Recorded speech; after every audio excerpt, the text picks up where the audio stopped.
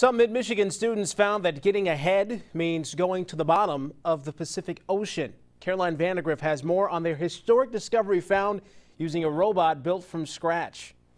Back in the classroom again, this underwater robot Stockbridge High School students spent a year building has now seen the bottom of the Pacific Ocean. Uh, for a high school team to build a robot, travel 8,000 miles, deploy the robot, dive 80 feet into the ocean on their first day, and then image uh, an unknown wreck to that point is just amazing. Off the coast of Palau, a small country 500 miles east of the Philippines, the Stockbridge High School robotics team was among the first 20 people to see the crash site of a Marine Corps Corsair plane shot down in 1944.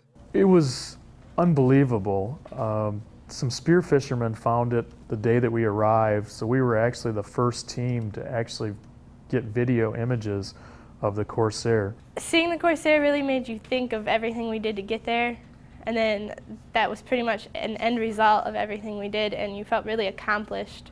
And the team took their success a step further. By getting images of the plane's ID plate, they tracked down the Corsair's pilot. It was Captain McCullough. Um, he ditched his airplane after bombing an ammunition dump. The oil cooler was damaged.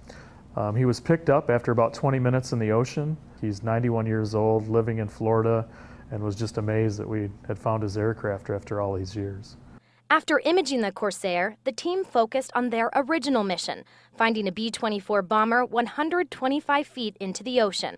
The team never found the B 24, but that just means they'll be that much closer when they go back next year. We also helped them find where it wasn't at, and getting down to 120 feet is a big feat for a high school team. Oh, it was a success by far.